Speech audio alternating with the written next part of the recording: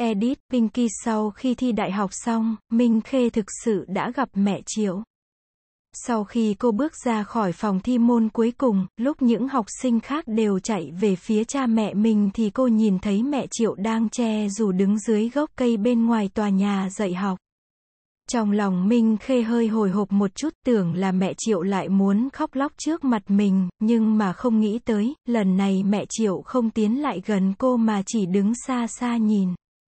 Ngày đó, mẹ Triệu đứng dưới gốc cây, đưa mắt nhìn nhóm Minh Khê và Hạ Dạng từng bước từng bước tới gần. Rốt cuộc bà đã thực hiện được trách nhiệm làm mẹ một lần, làm bạn với con mình trong suốt chặng đường cuối cấp 3 tháng 7, thời tiết oi bức.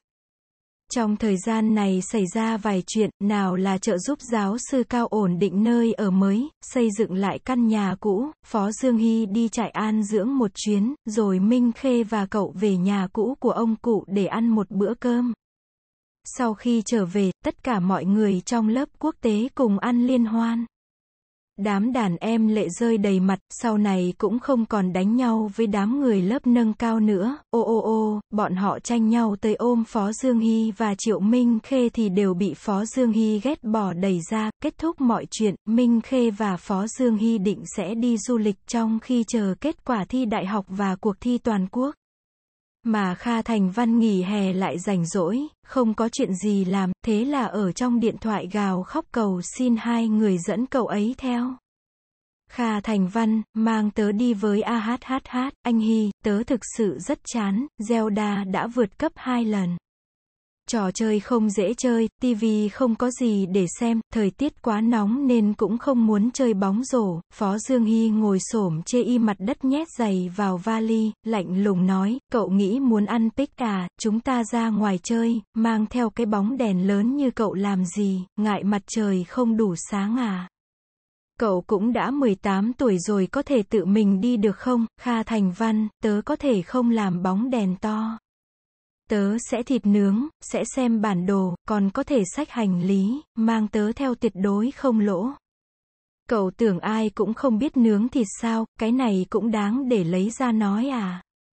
Phó Dương Hy cười nhạo một tiếng, lần trước, ở cửa hàng thịt nướng, không phải tất cả thịt nướng Triệu Minh Khê ăn đều do tớ nướng à, còn cần cậu sao, Kha Thành Văn, anh Hy, cậu còn mặt mũi nói à, mấy miếng thịt nướng kia Triệu Minh Khê có ăn không, không phải sau đó đều đổ à.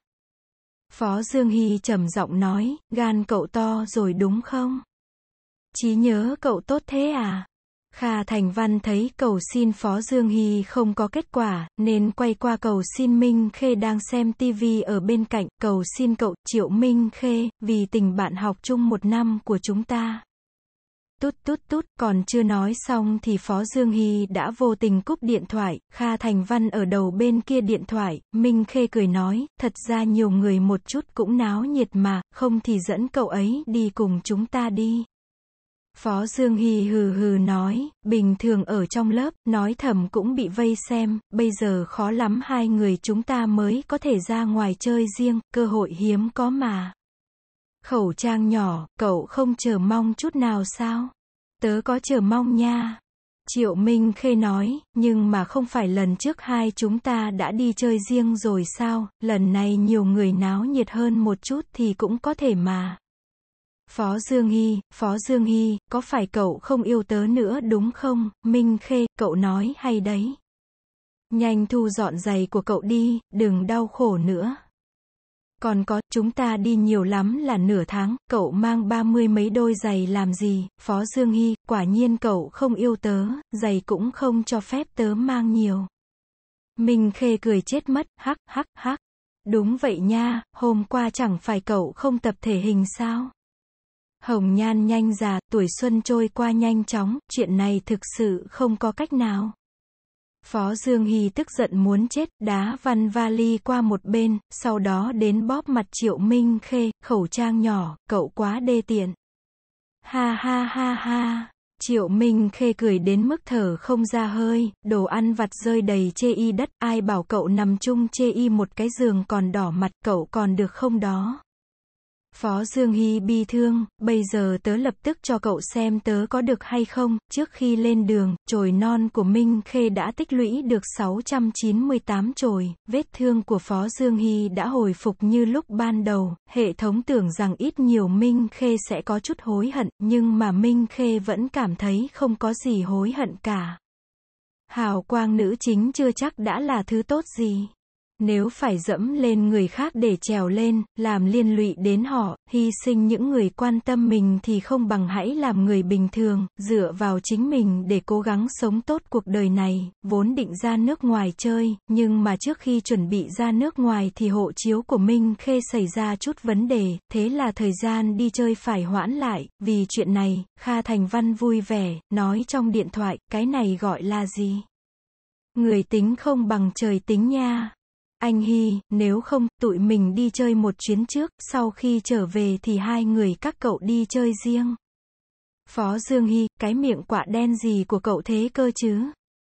Minh Khê thì hoàn toàn không có ý kiến gì, cô cảm thấy có nhiều người thì náo nhiệt, nhanh chóng giơ tay lên, tớ đồng ý, Phó Dương Hy lại dùng ánh mắt cậu không còn yêu tớ nữa, nhìn cô một cái, sau đó bị cô sáp lại gần hôn lên mặt cậu một cái thì mới miễn cưỡng đồng ý với đề nghị đi du lịch nhóm của Kha Thành Văn, thật vất vả cuối cùng mới được cho phép, Kha Thành Văn hưng phấn nhảy tại chỗ, nhanh chóng ôm túi du lịch, mượn ba chiếc xe máy, vui vẻ dẫn Khương Tu Thu đến tìm Phó Dương Hy và Minh Khê. Dưới lầu, ba chiếc mô tô xếp song song, uy phong lẫm liệt, Phó Dương Hy cầm mũ bảo hiểm đội cho Minh Khê, cúi đầu nghiêm túc cài nút khóa cẩn thận hàng ngày trêu hoa gẹo nguyệt, Khương Tu Thu cũng thuận tiện đeo cho hạ dạng. Kha Thành Văn một mình cô đơn, có lầm không đó, Phó Dương Hy lại cúi người, đỡ đầu gối của Minh Khê, sau đó ôm cô ngồi lên xe gắn máy rồi mới thả tay ra. Minh Khê cho chai nước khoáng vào chiếc ba lô nhỏ, rồi nói với cậu, tớ đã mang theo đủ đồ rồi, khi nào mệt thì nói với tớ. Phó Dương Hy nhướng mày, còn gì nữa, Minh Khê kéo cổ cậu xuống, mổ lên môi của cậu một cái. Phó Dương Hy hơi đỏ mặt, Dương Dương đắc ý nghiêng đầu nhìn Kha Thành Văn một chút, Kha Thành Văn, đờ mờ nó chứ, a a a. Rất muốn yêu đương, mùa hè đến rồi đúng không? Làm sao mà cậu lại tự rước bất mãn vào người thế này, xe gắn máy chạy ra khỏi thành phố, băng qua những tòa nhà cao tầng, những con sông gợn sóng, những cánh đồng, rừng cây sông nước. Không khí mùa hè trong lành, sảng o a iota. Đang lúc hoàng hôn, bọn họ đi qua một cánh đồng rộng lớn ở ngoại ô, mây răng ngang trời như hoa nở, Minh Khê ôm lấy eo Phó Dương Hy, mái tóc dài bị gió thổi bay, cô cảm nhận được gió thổi luồn qua tóc mai tới khóe mắt và đuôi chân mày. Hít một hơi thật sâu, không khí vùng ngoại ô thật tuyệt vời. Phó Dương Hy nghiêng mặt nhìn cô một cái, khuôn mặt cậu tuấn tú, trẻ trung tùy ý, ánh mắt cậu dương dương đắc ý, không cần nói cũng biết, cậu lại hít tớ, Minh Khê không khỏi cười ra tiếng, đặt cầm chê y bờ vai của Phó Dương Hy, vâng, vâng, vâng, tớ lại hít cậu, hạ dạng đang được Khương Tu Thu chở, quay đầu nhìn, chỉ vào Kha Thành Văn, suýt chút nữa cười đến chết đi sống lại, chân tóc của cậu sao vậy, Kha Thành Văn lập tức lấy một tay che chán, mẹ nó, đừng nhìn. Gió lớn như vậy, chân tóc không thể bị gió thổi phồng lên sao, ha ha ha ha. Minh Khê cũng bật cười, Phó Dương Hy và Khương Tu Thu cũng nhìn Kha Thành Văn một chút, khóe miệng hai người khẽ cong. Trong tiếng cười giòn giã, bọn họ lái xe về phía những cánh đồng lúa xanh biếc, lái về phía tương lai tươi sáng. Năm 18 này, chuyện tốt đẹp nhất xảy ra đối với Minh Khê chính là cô gặp được tình cảm chân thành duy nhất. Cậu ấy mang bạn bè và đàn em của mình đến cho cô, mang tiếng cười đến cho cô, mang hết thảy tất cả những gì mà cô chưa bao giờ tưởng tượng tới. Cũng như chưa bao giờ có dũng khí để có đến cho cô. Cô và Phó Dương Hy không phải chỉ vẻn vẹn cùng nhau trải qua năm 18 tuổi, cô và cậu còn bên nhau năm 28 tuổi, năm 38 tuổi, còn phải cực lâu sau này, cho đến khi tóc bạc phơ, già đến mức không còn đi đứng được nữa. Họ sẽ ôm nhau mỗi sáng sớm, sẽ hôn nhau giữa hoàng hôn, sẽ cùng dẫm bước lên cái bóng của đối phương dưới ánh đèn. Tương lai đương nhiên không cách nào đoán trước được, cũng không có khả năng mọi thứ đều sẽ hài lòng, nhưng mà trong vận mệnh tương lai, cho dù có xảy ra chuyện gì, bọn họ sẽ cùng nắm tay vượt qua hết thảy mọi thăng trầm, trở thành ngọn cờ của nhau. Tình yêu tuổi 18 không có giới hạn, nó là mãi mãi cả đời, sao đám đàn em lớp quốc tế đều biết, không một thầy cô lợi hại nào có thể bắt Phó Dương Hy viết kiểm điểm. Vào ngày này, lại là đêm giao thừa, tuyết rơi đầy trời, gió thổi vào căn hộ chung cư của Triệu Minh Khê và Phó Dương Hy. Cửa sổ kính trong suốt từ trần đến sàn nhà chê y ban công đang mở, một ngọn gió thổi tới, thổi bay những mảnh giấy ghi chú chê y tường. Chê y những tờ giấy ghi chú đó có thật nhiều hàng chữ rồng bay phượng múa. Kiểm điểm ngày 12 tháng 8, tôi không nên nhìn thấy vợ yêu nói nhiều hơn mấy câu với soái ca chê y sân khấu mà đã chê bai sân khấu xấu xí. Ngày 24 tháng 9, tôi không nên nhắc lại chuyện cũ trong buổi họp lớp, chua ngoa nói rằng đường chân tóc của tên họ thẩm kia trông có vẻ lùi về sau. Lời của editor, tức là bị hói, ngày 30 tháng 10, tôi không nên nhìn thấy vợ yêu nhìn chằm chằm nam diễn viên Hàn Quốc JETV mà cưỡng hôn vợ yêu. Giấy cam đoan, tôi, Phó Dương Hy, kiên quyết từ chối làm một người chồng ghen tuông. Kiên quyết làm một người đàn ông rộng lượng, hào phóng. Nếu như tái phạm, tôi chính là chó, sau ngày 26 tháng 12, gâu gâu, gâu gâu gâu, Phó Dương Hy. Edit, Pinky hãy để dòng thời gian quay ngược trở lại vào ngày 5 tháng 11, ngày sinh nhật của Phó Dương Hy, khi cả hai vẫn chưa tỏ tình với nhau, họ vẫn đang trong giai đoạn mập mờ, sao bắt đầu từ vài ngày trước, vào ban ngày, Phó Dương Hy đã không ngủ, cậu giả vờ hờ hững xếp sách của mình, nhưng thực chất là đang giỏng tai lên, lắng nghe Triệu Minh Khê và những người khác trong lớp nói chuyện. Cậu cố gắng để nghe thử xem có mấy từ như, sinh nhật, anh Hy, quà tặng, không, nhưng mà chăm chú vài ngày thì ngay cả những từ có liên quan đều không nghe thấy. Mỗi ngày, Triệu Minh Khê đều bền lòng vững dạ đến lớp lúc 6 giờ 50 sáng, đi thư viện lúc 6 giờ 50 tối, hết sức chuyên chú một lòng học tập, nếu không nữa thì lên diễn đàn tìm hiểu thông tin mới nhất về Trương Ngọc Phân, cùng hạ dạng ra ngoài ăn cơm, vui vẻ như khẩu trang nhỏ, không buồn phiền không không lo âu. Không buồn phiền không lo âu đến mức cậu ấy hoàn toàn quên mất ngày sinh nhật của mình, cả người Phó Dương Hy ngập tràn cảm giác chán nản, cậu chia sẻ danh sách các ca khúc tôi rất vui vẻ, không sinh nhật cũng không sao, đàn ông đổ máu không đổ lệ trong group chat, Kha Thành Văn nhắn tin trong group chat, anh Hy, nếu cậu không nói được thì để tớ nói giúp cậu nhé, Phó Dương Hy chia sẻ một bài hát nói cái gì, Kha Thành Văn, trực tiếp hỏi thôi. Ngại ngùng gì cơ chứ? Cậu có tới tiệc sinh nhật của anh Hy không? Cậu định tặng quà gì cho anh Hy? Cậu có nhớ ngày mai là sinh nhật của anh Hy không đó? Mấy câu này cậu chọn một câu, bây giờ tớ sẽ lập tức giúp cậu hỏi Triệu Minh Khê ngay, Phó Dương Hy chia sẻ một bài hát, im đi, đừng hỏi, Kha Thành Văn chia sẻ, vì sao, Phó Dương Hy chia sẻ, chủ động mở miệng chẳng phải rất mất mặt sao, Kha Thành Văn, tớ đã nhắc nhở cậu ấy, nhưng mà cậu ấy vẫn không nhớ rõ, Phó Dương Hy, sinh nhật của người không quan trọng đương nhiên không đáng để nhớ kỹ, Phó Dương Hy tiếp tục chia sẻ một bài hát, tôi là người không quan trọng, Khương Tu Thu, sao trước đó, Minh Khê định đưa quà tặng mà cô gom góp được cho Phó Dương Hy. Những thứ mà cô chuẩn bị nào là vớ thể thao, sữa bò, mặc dù cô đã khéo léo chọn ngày sản xuất là 5 tháng 11 nhưng mà trông vẫn rất keo kiệt, không có thành ý, nhưng mà trước kia Minh Khê cũng chưa từng tặng quà cho con trai, cũng không biết nên tặng cái gì. Giày thì sao, Phó Dương Hy có một đống giày hàng hiệu. Phiếu đăng ký thi bằng lái xe thì sao, Phó Dương Hy đã có bằng lái từ lâu rồi, nếu tặng cho cậu ấy một chiếc xe thì sao, người ta ngay cả máy bay đều đã có, còn để ý tới một chiếc xe sao? Minh Khê cảm thấy rất buồn rầu, chính vì như thế mà mấy ngày nay cô che đậy rất kín đáo hai chữ quà tặng này. Cô đã tặng quà không có gì đặc biệt thì cũng không thể làm cảm giác bất ngờ cũng không có được, nếu không thì tổng hợp đề thi đại học 5 năm gần nhất và đề mô phỏng 3 năm gần nhất, không được, có cảm giác Phó Dương Hy sẽ nổi trận lôi đình.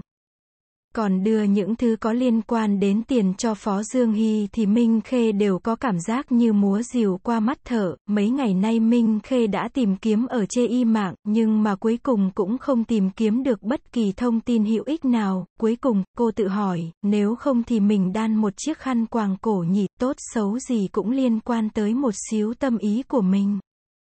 Thế là nói là làm, Minh Khê mua dụng cụ đan và xem video hướng dẫn chê y Internet, chính thức bắt đầu DIY, 11. DIY, viết tắt của do it yourself, có nghĩa là tự làm ra một sản phẩm nào đó, cô bắt đầu từ con số không, cho nên vô cùng tốn sức. Phải mất 3 ngày đêm thì cuối cùng cũng được một thành phần mà theo Minh Khê cảm nhận là có thể nhìn. Tuy có hơi ngắn nhưng mà tốt xấu gì cũng trông giống như một chiếc khăn quàng cổ. Minh Khê gấp gọn khăn quàng cổ lại rồi bỏ trong một cái hộp nhỏ, sau đó bỏ vào trong một cái hộp lớn cùng với những món quà nhỏ khác mà cô đã chuẩn bị trước đó, chờ đến ngày sinh nhật sẽ đưa cho Phó Dương Hy. Sau khi chuẩn bị xong quà tặng, trong lòng Minh Khê lại có chút xoắn xuýt tự tay đan khăn quàng cổ, có thể làm cho Phó Dương Hy hoặc những người khác nhìn ra là mình thích cậu ấy không? Có phải quá rõ ràng không? Lúc trước đưa dây buộc tóc, giờ lại đưa khăn quàng cổ thì quá rõ ràng. Đến lúc đó, chẳng may bị hỏi thì còn phải nghĩ lý do để thoái thác, Minh Khê xoắn suýt, lấy khăn quàng cổ đan trông vô cùng xấu xí kia ra. Nhưng mà cuối cùng vẫn quyết định chắc chắn, cô nhắm mắt lại, nhét khăn quàng cổ vào trong hộp quà lại, sau đó kéo chăn bông rồi chùm đầu đi ngủ, cứ như vậy, có thể nói trong lòng cả hai người Minh Khê và Phó Dương Hy đều có ý đồ riêng. Phó Dương Hy chờ Triệu Minh Khê chủ động nhớ sinh nhật cậu, Triệu Minh Khê chờ Phó Dương Hy chủ động nhắc tới sinh nhật của cậu, để cô thuận nước đầy thuyền đưa khăn quàng cổ mình tự đan tặng cho cậu ấy. Nếu không, cô vừa chủ động nói ra ngày sinh nhật, còn chủ động đưa khăn quàng cổ tự tay mình đang ra thì có vẻ quá lộ liễu hay không, có khác gì mấy đứa con gái khác đưa thư tình đâu cơ chứ. Gần như viết ba chữ, tớ thích cậu, lên mặt rồi. Cuối cùng, thứ sáu, ngày 4 tháng 11, cho đến khi tan học, Minh Khê cũng không hề nghe Phó Dương Hy nhắc đến nửa chữ, sinh nhật. Tiếng chuông tan học reo lên trong một phút. Học sinh trong lớp lục đục rời đi. Bởi vì thân phận đương đối đặc biệt cho nên không có nhiều người trong lớp biết sinh nhật của Phó Dương. Hi, nếu không, nói không chừng sẽ có một đám đàn em tới ồn ào. Kha Thành Văn cũng thu dọn cặp sách, nói, ngày mai gặp, Phó Dương Hy đáp lại, uể oải dựa vào tường, đeo tai nghe chống ồn, giả vờ hờ hững lật xem chuyện tranh nhưng thực ra lực chú ý đều đặt chê y người triệu Minh Khê, Minh Khê tiếp tục nghiêm túc làm bài, thỉnh thoảng cắn đầu bút một chút, nhưng thực ra ánh mắt cô thỉnh thoảng liếc nhìn Phó Dương Hy, cô cảm thấy rằng Phó Dương Hy sắp nói. Với gia cảnh như của cậu ấy, hẳn là sẽ mở tiệc sinh nhật, mình không nhất định có thể tham gia nhưng mà hẳn là có thể sau khi tiệc sinh nhật kết thúc sẽ cùng với bọn Kha Thành Văn chúc mừng sinh nhật cậu ấy một chút nhỉ. Nhưng nào biết Phó Dương Hy lật chuyện tranh một cách khí thế, tiếng động vang lên ầm ầm, quả thực không chịu mở miệng, bầu không khí của hai người cứ vi diệu như vậy, nhìn nhau không nói suốt 15 phút, trong lòng Phó Dương Hy đã chắc chắn Triệu Minh Khê không nhớ rõ sinh nhật của cậu, cậu không thể mất mặt mà nói, ngày mai là sinh nhật của tớ, khẩu trang nhỏ, nếu mà cậu không đến tớ sẽ nổ tung đó. Trong lòng cậu vừa lo lắng lại thất vọng, nhưng chê y mặt lại không thể hiện bất kỳ điều gì. Lại chờ một lát, không đợi được Triệu Minh Khê mở miệng, cậu rủ mắt gấp chuyện tranh lại, mười phần mất mặt đứng lên, cầm lấy cặp sách của mình, thấy Phó Dương Hy định đi, Minh Khê thực sự ngồi không yên, thấy cậu sắp bước qua mình thì cô kéo áo của cậu một phát, ngẩng đầu lên, cậu đi bây giờ sao?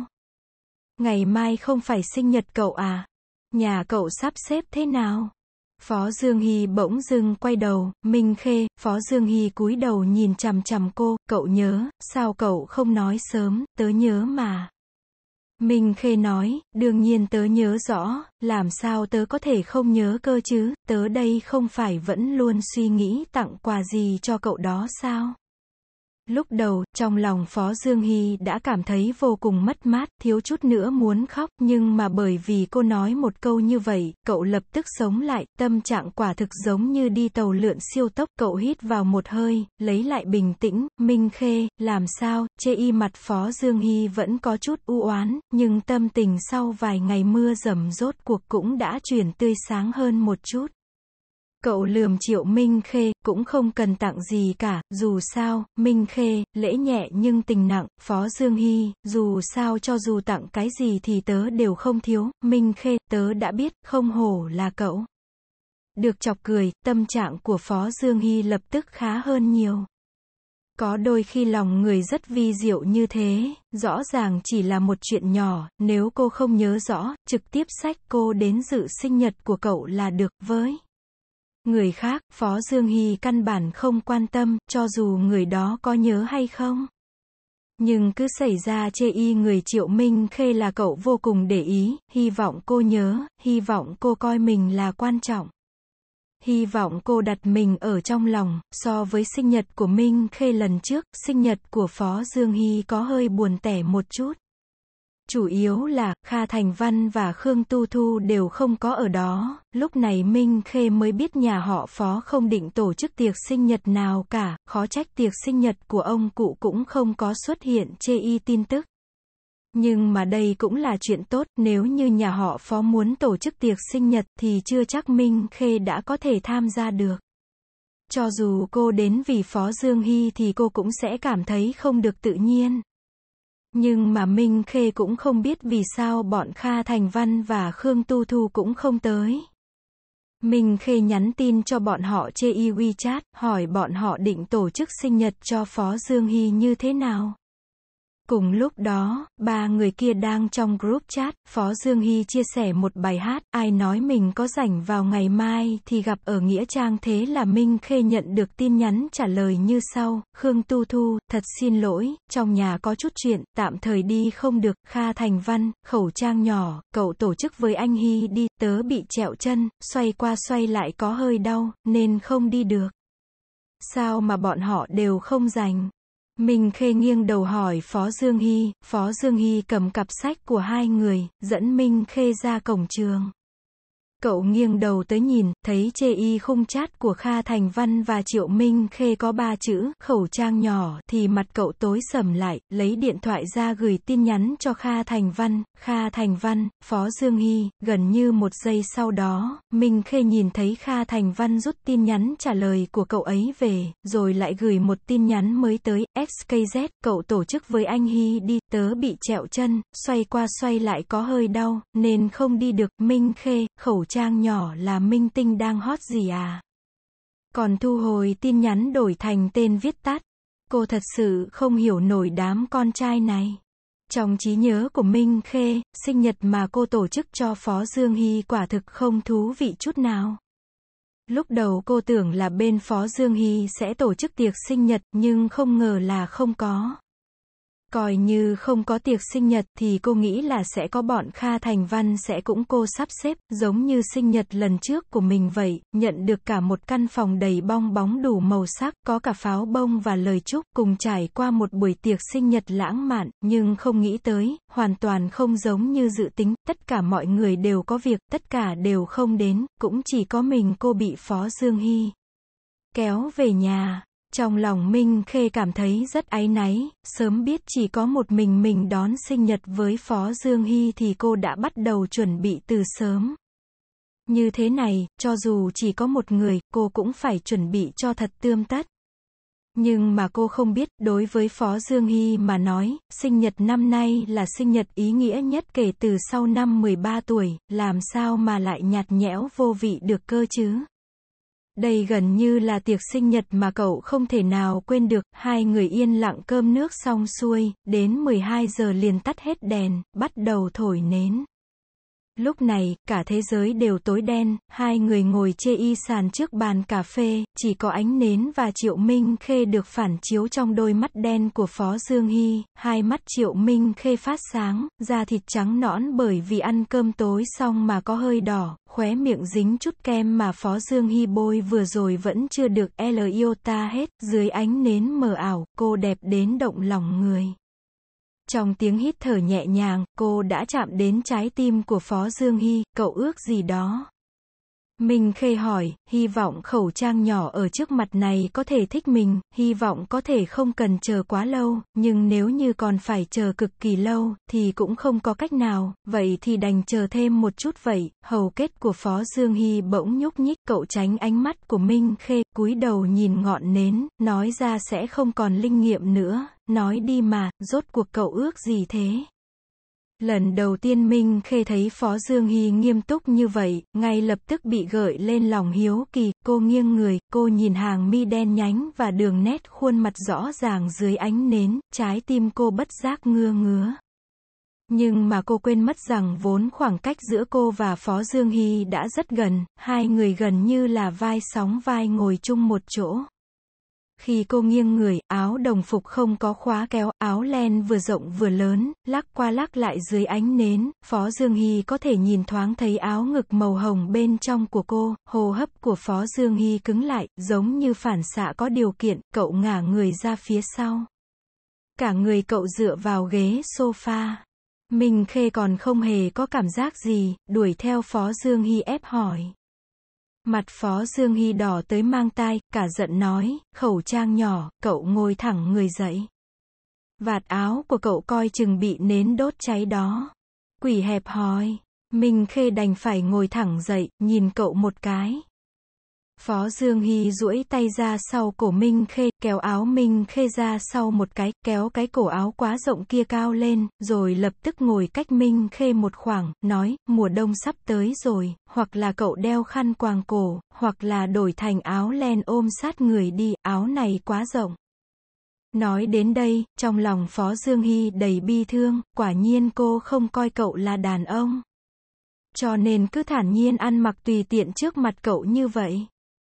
Lúc này Minh Khê mới kịp phản ứng vì sao cậu bỗng kéo quần áo của mình ra phía sau, trong lòng Minh Khê cũng hơi hồi hộp một chút, sao mà cậu ấy lại có phản ứng này?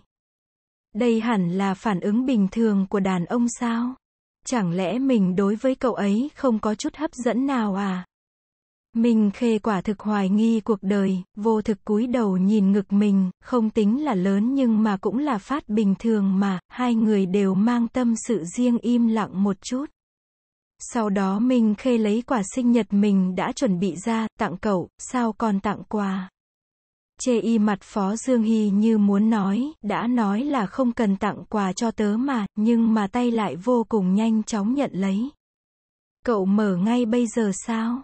Thấy Phó Dương Hy lập tức muốn mở quà thì Minh Khê có chút thấp thỏm, Phó Dương Hy, đúng thế, chết sớm chết muộn gì cũng phải chết, khẩu trang nhỏ, cậu không cần căng thẳng, tớ sẽ không ghét bỏ cậu đâu, vừa dứt lời, Phó Dương Hy lập tức tháo dây lụa chê y hộp quà ra.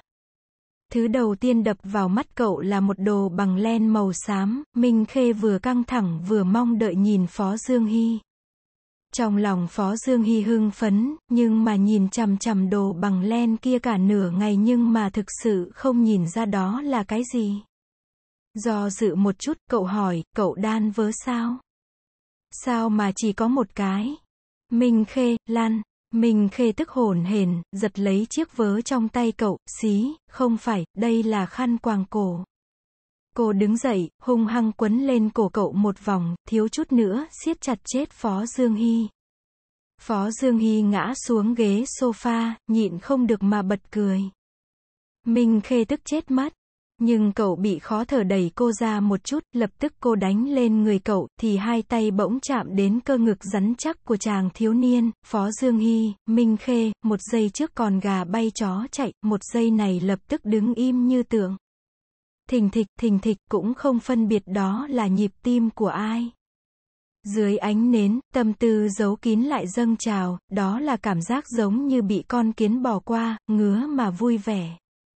Tay hai người yên lặng đỏ lên.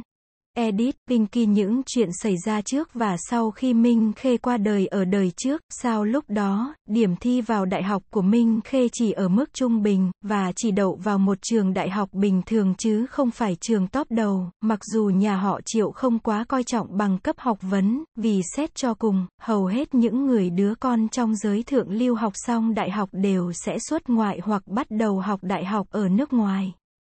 Nhưng mà nhà họ Triệu ít nhiều đều cảm thấy Triệu Minh Khê không làm được. Mặc dù cô xinh đẹp, nhưng mà nhìn thành tích của cô mà xem, cô không phải là thông minh. Chưa kể đến Triệu Trạm Hoài và Triệu Mặc đều có sự nghiệp của mình, chỉ cần nói đến Triệu Viên, sau khi tốt nghiệp cấp 3 đã lấy được học bổng toàn phần của một trường đại học nổi tiếng bên Mỹ, sau khi ra nước ngoài học hành thì bây giờ đã trở về công ty của cha Triệu hỗ trợ, dần dần bộc lộ tài năng trong giới thượng lưu, mạnh hơn cô rất nhiều. So với những đứa trẻ khác của nhà họ Triệu, điểm mạnh của Triệu Minh Khê thực sự rất mờ nhạt, người nhà họ Triệu không biết mỗi lần thi cử Minh Khê đều sẽ xảy ra đủ các tình huống, bọn họ chỉ cảm thấy, 15 năm trước sinh trưởng ở một thị trấn nhỏ nghèo lạc hậu, làm ảnh hưởng tới sự phát triển của Minh Khê. Nền giáo mà cô đã nhận được quá mức nông cạn, môi trường cô đã ở quá cằn cỗi. Đến mức cô trở thành một cô gái tầm thường, tính cách và tài năng chẳng có gì nổi bật. Mà trong thời gian này, cô cũng đối chọi gay gắt với triệu viên, có thể cũng vì thế mà ảnh hưởng phần lớn đến chuyện học hành của cô. mình Khê cũng không có cách nào phản bác, chính cô cũng không rõ mình đã xảy ra chuyện gì. Có lúc, rõ ràng trong đầu của cô đã có mạch suy nghĩ, nhưng một giây sau lại giống như bị một đám mây đè xuống, đầu óc trở thành một khối hồ nhão, suy nghĩ miên man. Một chút ý nghĩ nhìn thấy sắc trời trước đó đã bị một bàn tay vô hình bóp chết, một lần nữa lại quay về tình trạng ngơ ngác hỗn độn. Mình khê chỉ cho là mình thật sự không bằng người ta, mình không đủ ưu tú như người ta. Trước năm 15 tuổi, sở dĩ nhiều lần đứng nhất ở thị trấn nhỏ xa xôi, có thể chỉ là do thị trấn nhỏ ít người, cho nên mình mới có thể đứng nhất. Bây giờ ra thành phố lớn, biển người mênh y gờ, đương nhiên bản thân lập tức ngã xuống nặng nề, không là gì so với người ta cả, cô chỉ có thể cố gắng vượt qua. Đặt điểm xuất phát của mình vào trong bùn, thừa nhận bản thân mình kém cỏi, sau đó dành nhiều thời gian và tinh lực hơn người khác. Lúc này đương nhiên Minh Khê không có cách nào thích Triệu Viên, cũng không có cách nào tiếp nhận sự tồn tại của Triệu Viên. Nhưng, có một số việc cô chưa bao giờ làm, ví dụ như chuyện hại Triệu Viên bị dị ứng năm 17 tuổi đó.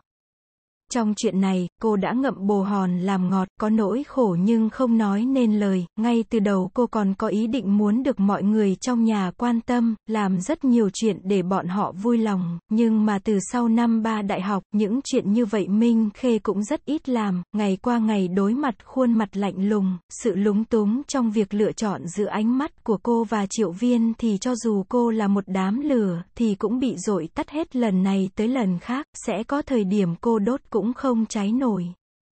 Cô dần dần cảm thấy có chút mệt mỏi, hơn nữa, chủ yếu là từ khi bắt đầu năm ba, cơ thể Minh Khê bỗng bắt đầu xuống dốc.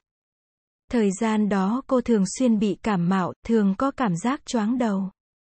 Minh Khê cũng không nghĩ nhiều, cô còn trẻ tuổi thì có thể có chuyện gì. Cô còn tưởng là do mình thức đêm quá nhiều. Nhưng mà ngay cả khi Minh Khê cố ý điều chỉnh thời gian làm việc và nghỉ ngơi thì tinh thần của cô vẫn không tốt. Đến tháng 6 của năm tư đại học, Minh Khê bị sốt cao không khỏi, không tham gia bảo vệ khóa luận tốt nghiệp, thiếu chút nữa bị đuổi học. Cũng may, giáo sư là người tốt, không để cho Minh Khê bị đuổi.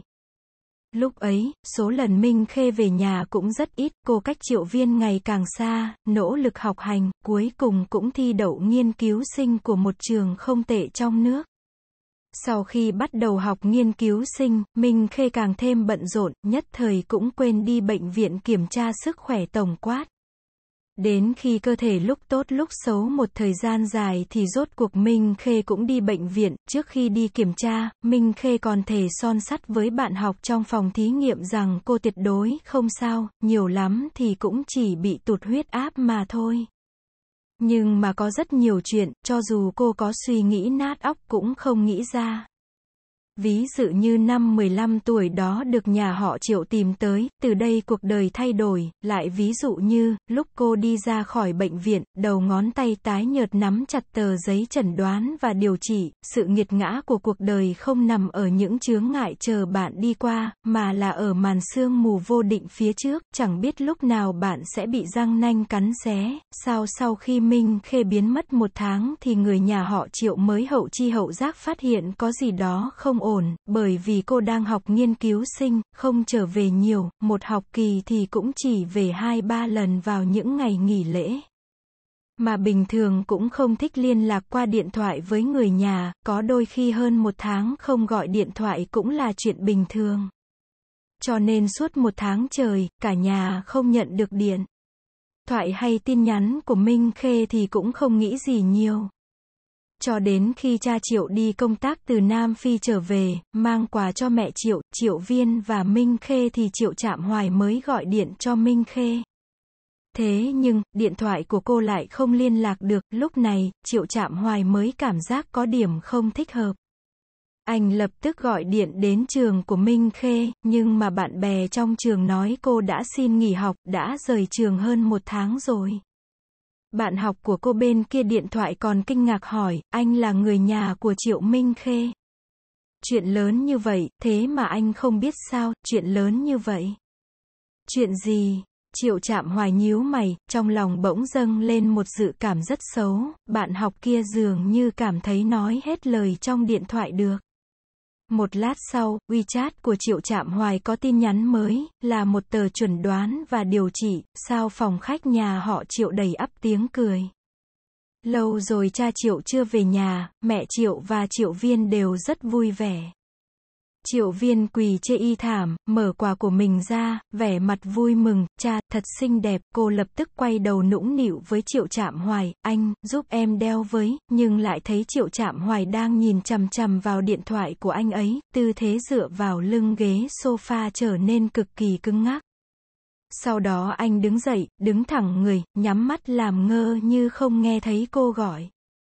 Triệu viên cũng không để ý, tưởng công ty của anh có chuyện gì, trợ lý gửi báo cáo gì đó cho anh xem thế là triệu viện lại quay đầu để mẹ triệu giúp mình. Mẹ triệu và triệu viên đeo dây chuyền cho nhau, hứng thú bừng bừng đi phòng vệ sinh soi gương, bây giờ triệu Vũ Ninh đang học đại học, sắp tốt nghiệp. Cậu mặc đồ thể thao màu trắng, mái tóc ngắn vừa được cạo thành hình tia chớp, nhưng sợ bị cha triệu mắng, cho nên mấy ngày nay cậu đều đội mũ lưỡi chai màu xanh nước biển, trông rất ngầu. Cậu tìm trong chồng quà tặng một vòng, thấy cha triệu mua quà cho mình là mấy quyển sách quản lý kinh doanh, mà không phải là chìa khóa Hammer mà mình muốn thì lập tức bất mãn, cha à, cái này không công bằng. Cha mang quà về cho phụ nữ nhà mình đều mấy chục vạn, dây chuyền kia của mẹ còn phải hơn một trăm vạn, làm sao đến lượt con thì chỉ là đống sách vài chục đồng thế kia. Gần đây Triệu Vũ Ninh có quen bạn gái, tháng trước tiêu xài hết mấy chục vạn. Cha Triệu không thèm để ý cậu. Cha Triệu nhấp một ngụm trà, quay đầu nhìn Triệu chạm hoài, Minh Khê đâu? Mấy ngày nữa không phải tới Tết Trung Thu sao? Con bé còn chưa trở lại à? Tuy nhiên, ông đã nhìn thấy sắc mặt của triệu chạm hoài có điểm không thích hợp, anh cầm điện thoại, xương ngón tay dùng sức trắng bệch nhìn về phía cha triệu, thế nào? Cha triệu nhíu mày, đầu óc triệu chạm hoài ong ong, nặn ra vài chữ, em ấy xin nghỉ học dài hạn. Từ trong phòng vệ sinh đi ra, mẹ triệu nghe được câu này, sắc mặt lập tức thay đổi, tức giận nói, có phải con bé lại gặp rắc rối gì không? Tạm nghỉ học, trong nhà làm sao hoàn toàn không biết. So với hồi cấp 3, thì lên đại học con bé đã tốt hơn một chút, làm sao bây giờ lại, lại gây ra họa gì thế này, con đưa điện thoại cho mẹ, bảo con bé nhanh chóng về nhà, lời còn chưa nói hết, thì đã bị triệu chạm hoài cắt ngang, không phải, lần này không phải, vậy rốt cuộc xảy ra chuyện gì, làm sao đang êm đang đẹp lại tạm nghỉ học. Mẹ triệu lo lắng hỏi.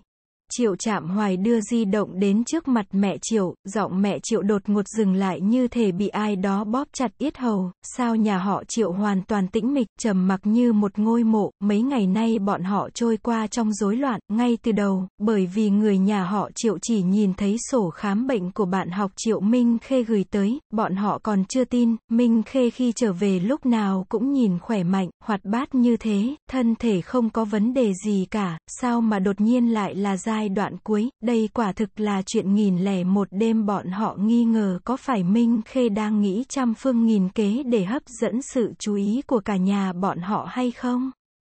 Nhưng mà điện thoại của Triệu Minh Khê vẫn không gọi được, cả WeChat và các tài khoản khác cũng bị hủy, những tài khoản chưa bị hủy thì cũng không có dấu hiệu sử dụng. Động tĩnh mới nhất dừng lại ở một tháng trước đó, mà đến bây giờ, bọn họ mới phát giác, người nhà họ Triệu vẫn không tin, mẹ Triệu còn nói thầm có phải là Triệu Minh khê diễn trò, làm bộ làm tịch hay không? Triệu chạm hoài lại nhận thấy có điều gì đó không ổn, chủ yếu là người bạn của Minh Khê nhận điện thoại kia, giọng điệu nói chuyện hoàn toàn không giống như là phối hợp diễn với Minh Khê. Triệu chạm hoài cảm thấy không ổn. Còn Triệu Vũ Ninh cho rằng Triệu Minh Khê không phải là người có thể làm được loại chuyện khổ nhục kế này. Từ năm 15 tuổi chị ấy đã không dùng đến, bây giờ quan hệ giữa cả nhà với chị ấy đã tương đối hòa thuận, chị ấy còn tạo ra một màn như thế để làm gì, không có chút ý nghĩa nào. Triệu Vũ Ninh cũng có chút lo lắng, thế là xê chiều hôm đó, hai người bọn họ bay đến tỉnh nơi Triệu Minh Khê theo học. Nhắc đến Triệu Minh Khê, giọng nói giáo sư của cô rất buồn bã, mấy tháng trước em ấy đã bị choáng đầu mấy lần, nhưng lúc ấy chẳng ai ngờ rằng, dù sao thì em ấy còn quá trẻ. Tôi cũng không làm tròn trách nhiệm của một người thầy, cũng thực sự không biết nên giúp đỡ em ấy như thế nào. Đứa nhỏ, này, đáng tiếc, chúng tôi khuyên em ấy nằm viện để điều trị, nhưng mà tỷ lệ chữa khỏi bệnh ung thư này rất thấp, hơn nữa còn phải hóa trị rất đau đớn. Em ấy từ chối, nói muốn dành chút thời gian cuối cùng này để làm chút chuyện em ấy muốn làm.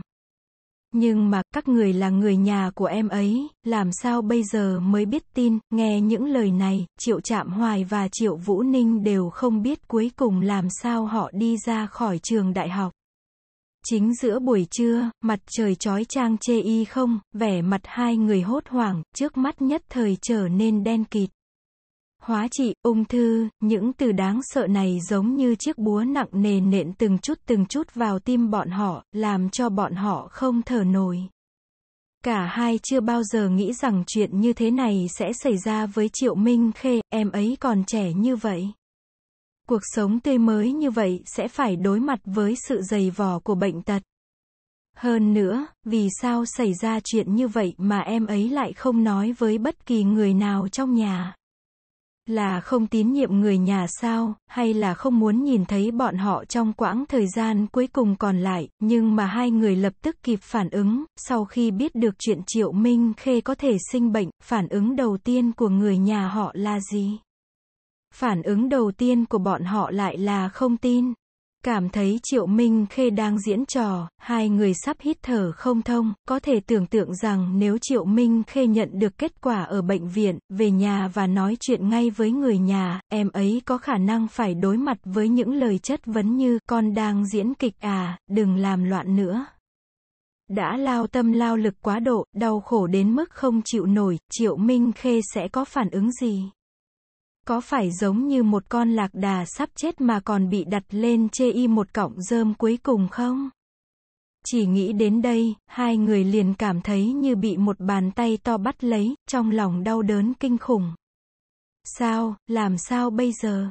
Bây giờ đi đâu để tìm Triệu Minh Khê đây? Triệu Vũ Ninh nhận ra khi nói những lời này, cả người cậu đều đang phút run, Triệu Trạm Hoài miễn cưỡng chấn định lại, thời gian còn lại của Minh Khê không còn nhiều, không thể để em ấy tùy tiện từ bỏ chữa trị được, mặc kệ thế nào cũng phải mau chóng tìm được em ấy. Trước mắt anh đi liên hệ với bác sĩ giải phẫu tốt nhất ở nước ngoài, em về nhà nói với mọi người trong nhà một tiếng về tình hình hiện tại. Mặc dù Triệu Vũ Ninh đã trưởng thành mấy năm, nhưng dù sao ở trước mặt Triệu Trạm Hoài vẫn là một sinh viên trẻ tuổi, gặp chuyện như thế này thì chân tay cũng luống cuống. Cậu theo lời của Triệu Trạm Hoài, trở về nhà. Sau đó, cả nhà đều không dám tin, hỗn loạn, cuối cùng mẹ Triệu gào. Khóc, sau khi mẹ Triệu hoảng sợ thì đau lòng gần chết. Bà đau đớn, lệ rơi đầy mặt. Không ai có thể tiếp nhận chuyện con gái mình hoài thai 10 tháng mất đi, thật vất vả mới tìm được về, nuôi dưỡng 8 năm, sau khi bồi dưỡng được tình thân thì lại biết được tin con bé mắc bệnh nan y, bà căn bản không nghĩ tới sẽ phát sinh chuyện như thế này. Nói cách khác, bà còn tưởng rằng bà có cả đời để từ từ hòa hợp với đứa con lạ lẫm này. Cãi nhau một hai lần cũng không phải là chuyện lớn gì, bà cho là đã tìm được Minh Khê trở về, Minh Khê là con gái bà, luôn không có khả năng lại mất đi một lần nữa, nhưng không nghĩ tới, bà và Triệu Minh Khê căn bản không có nhiều thời gian để hóa giải ngăn cách và ngượng ngùng, lần cuối cùng bà nói chuyện điện thoại với Minh Khê là hơn một tháng trước.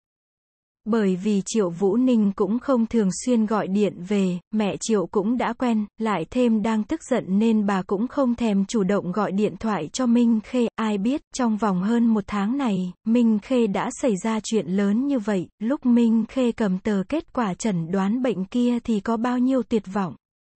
Còn chính bà đã nói cái gì, thế mà phản ứng đầu tiên của bà lại cho rằng con bé tự biên tự diễn, mẹ Triệu bắt đầu nhớ lại lần trước mình và Minh Khê trò chuyện, câu cuối cùng bà nói là gì? Lúc ấy, bà không cho Minh Khê sắc mặt tốt, Minh Khê nói có chút chuyện không về nhà được thì bà trực tiếp nói một câu, thích về hay không thì tùy, viên viên còn biết nghe lời, hiểu chuyện hơn con nhiều. Trước khi Minh Khê mất đi hy vọng sống, bà đã nói những lời hằn học như vậy với Minh Khê. Đau đớn vỡ òa trong lòng mẹ Triệu, bà tuyệt vọng cầu xin cha Triệu và Triệu Trạm Hoài mau chóng tìm Triệu Minh Khê, sao muốn tìm được một người, nói nghe thì dễ, nhưng làm thì không dễ chút nào, trong nhà cho Minh Khê thẻ, nhưng lịch sử thanh toán dừng lại ở một tháng rưỡi trước khi cô làm thủ tục tạm nghỉ học. SIM điện thoại của cô cũng không còn tín hiệu nữa, hẳn là SIM đã bị ném đi. WeChat, Weibo và các tài khoản mạng xã hội khác đều không được đăng nhập bởi vì xảy ra một ít chuyện hạ dạng mắng chửi triệu viên thời học sinh, cho nên quan hệ của nhà họ triệu và nhà họ hạ cũng xa lạ. Về phần nhà họ đồng, họ công khai muốn đưa Minh Khê đi, cũng có một ít bất đồng với nhà họ triệu. Nhưng là chuyện bây giờ đến mức này, bọn họ cũng không để ý đến nhiều thứ như vậy. Ngay từ ngày đầu tiên khi bắt đầu tìm kiếm Triệu Minh Khê, Triệu Trạm Hoài đã đích thân đến nhà họ Hạ và nhà họ Đồng để tìm người. Nhưng mà, Minh Khê không có ở đó, Hạ Giảng, bạn tốt nhất của Minh Khê từ thời thiếu nữ, cũng không biết Minh Khê đi đâu. Nhà họ Đồng thì càng không biết, thậm chí bởi vì biết được chuyện Minh Khê mắc bệnh nan y mà thiếu chút nữa muốn xé nát nhà họ Triệu. Tìm kiếm rõng rã nửa tháng trời, Minh Khê biến mất, hoàn toàn không có tung tích gì. Cô giống như bốc hơi khỏi nhân gian. Edit, Pinky Wook này, Minh Khê cũng không biết mình có thể đi nơi nào. Cô dùng tiền mặt mua vé máy bay, mua một ly cà phê, ôm áo khoác ngồi xuống, ngẩn người nhìn mưa rơi lốp bốp bên ngoài. Cô đưa mắt nhìn hết máy bay này đến máy bay kia cất cánh rồi hạ cánh, nhưng không lên máy bay. Người khác đều có mục đích của bọn họ, mà cô lại không biết mục đích của mình là nơi nào. Cuối cùng, cô xách vali ngồi ở sân bay cả ngày trời, xé vé đã mua, chẳng có mục đích gì kéo vali định rời đi. Khi rời đi, hộ chiếu của Minh Khê vô tình rơi xuống đất, một phút sau, một bàn tay mảnh khảnh với những đốt ngón tay thon dài rõ ràng đã nhặt hộ chiếu lên. Chủ nhân của bàn tay là một người đàn ông trẻ tuổi. Người đàn ông ấy cầm một một chiếc ô dài màu đen, mái tóc ngắn màu đỏ, đứng trong đám người như hạc giữa bầy gà. Lúc anh ấy chuyển máy bay thì bị mắc mưa, ống tay áo khoác và vali màu đen đều có dính chút nước, mái tóc đỏ hơi ướt, làm gương mặt càng lộ rõ vẻ thâm thúy. Anh ấy quay người, cầm hộ chiếu trong tay, liếc nhìn bóng lưng người vừa đi qua. Anh à, có chuyện gì không, là của cô ấy, người đàn ông trẻ tuổi đưa hộ chiếu cho nhân viên ở cổng lên máy bay, để nhân viên đó đuổi theo đưa cho cô. Dừng một chút, anh lại cảm thấy có chỗ nào đó không thích hợp, giữa biển người mênh IG. Giữa bối cảnh nhanh chóng, gấp rút, thần xui quỷ khiến thế nào đó mà anh quay đầu nhìn lại một lần nữa, sau khi Minh Khê bước ra khỏi cửa kiểm tra an ninh, thì bị nhân viên đuổi kịp, lúc đó mới phát hiện mình vô ý làm mất hộ chiếu. Cảm ơn, nhân viên còn đưa cho cô một chiếc ô, chiếc ô nam cán dài màu đen, có thêu chữ vàng ở các góc. Minh Khê ngẩn người, vô ý thức quay đầu lại nhìn, nhưng người nhặt được hộ chiếu của mình đã sớm lên máy bay, Minh Khê kéo vali, rời khỏi sân bay. Bên ngoài quả nhiên còn đang mưa, trong màn mưa, góc váy của Minh Khê bị gió thổi bay quấn lấy bắp chân trắng nõn thon thả của cô. Mặt và môi cô đều có chút tái nhợt, nhưng không phải bởi vì bị đông cứng, mà lúc này, cô có thể cảm nhận được sinh mệnh bên trong cơ thể mình đang tụt dốc không phanh, cô ôm lấy cánh tay của mình, bung dù trong tay ra.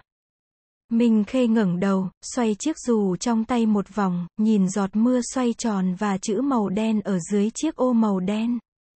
Cô cảm thấy, trong khoảng thời gian này, đây là lần duy nhất ông trời đối xử tốt với cô. Sao tìm Minh Khê ba tháng, nhưng không tìm được, Triệu Trạm Hoài đến thành phố Đồng, nhưng lúc anh đến, những người ở đó đều nói Triệu Minh Khê chưa từng trở về. Sau đó cha Triệu cha được thông tin Triệu Minh Khê từng mua vé máy bay, nhưng mà được thông báo là cô không lên máy bay, biển người mênh IG, lúc này người nhà họ Triệu mới phát hiện, muốn tìm một Người không chủ động liên lạc với bọn họ thì có bao nhiêu khó khăn, trước kia, bất cứ lúc nào cũng có thể liên lạc với Triệu Minh Khê, Triệu Vũ Ninh gây gổ với bạn học, không dám mời phụ huynh, chỉ cần gọi điện thoại thì Triệu Minh Khê sẽ lo lắng chạy tới.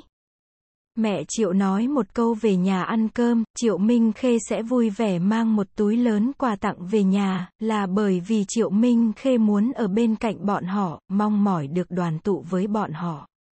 Nhưng mà một khi Triệu Minh Khê không muốn làm như vậy nữa, thì bọn họ chợt phát hiện, cho tới bây giờ đều là Triệu Minh Khê đến gần bọn họ mà bọn họ lại rất ít chủ động hòa nhập vào cuộc sống của Triệu Minh Khê. Sau cuối cùng, người nhà họ Triệu cũng không gặp mặt được Minh Khê lần cuối. Trong khoảng thời gian cuối cùng đó, Minh Khê không liên lạc với bất kỳ ai, cũng không có quấy giày bất người nào. Lúc ấy, trong nhà hạ dạng xảy ra chuyện, gần như phá sản, cô cũng không muốn lại gây thêm phiền phức cho cô ấy.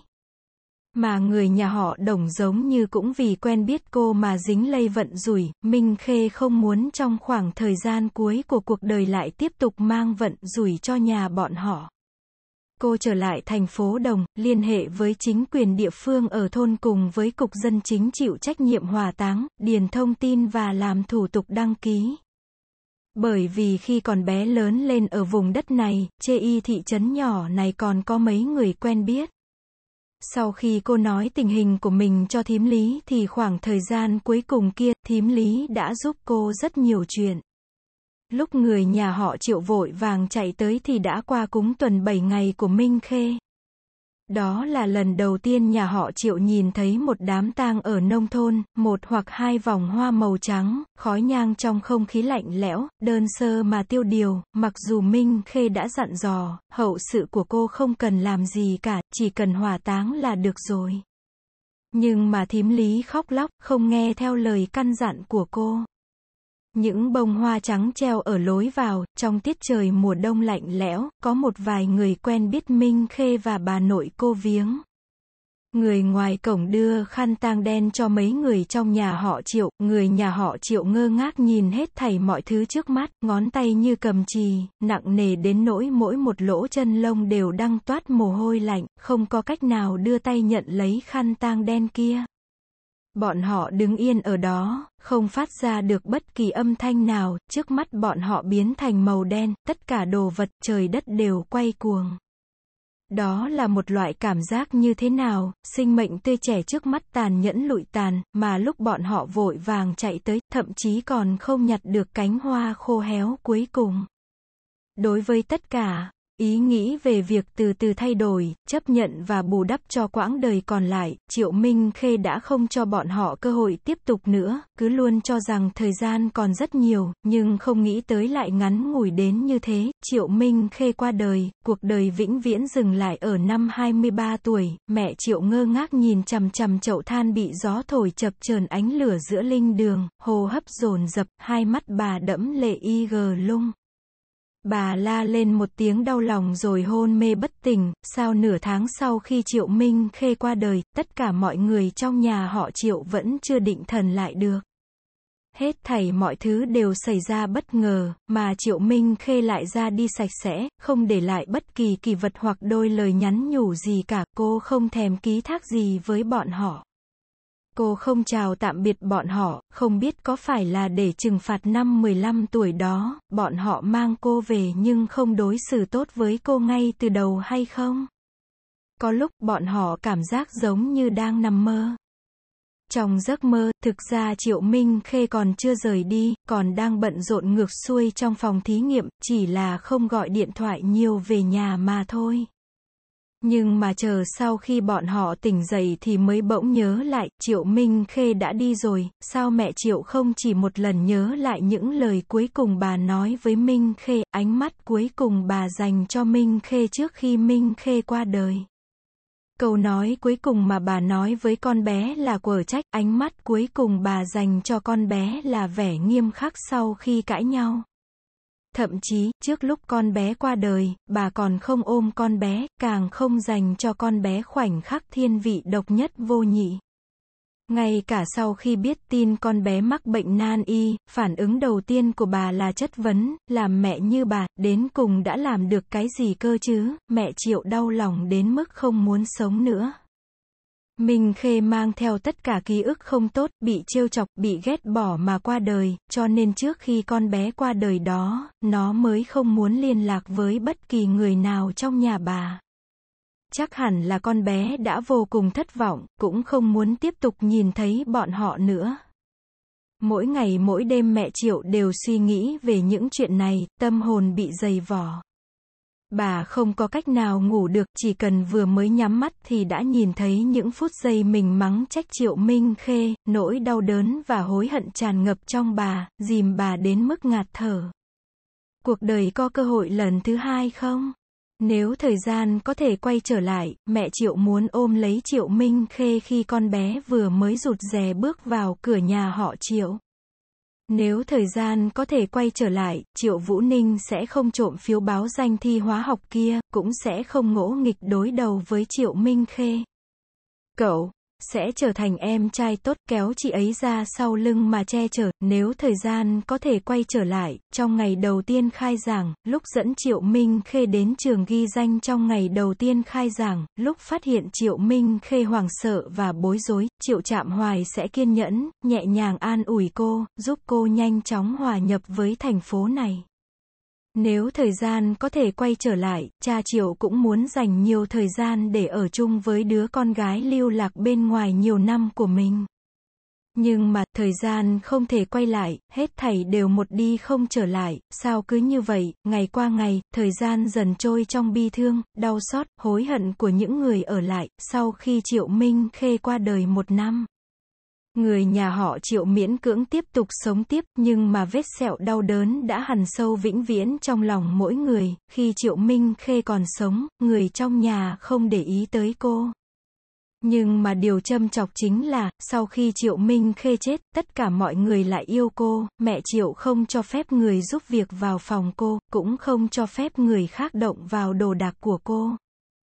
Bà thường xuyên ngồi ngẩn người chê y giường cô, thỉnh thoảng lật dở những mẩu giấy ghi chép và bài kiểm tra thời niên thiếu của cô.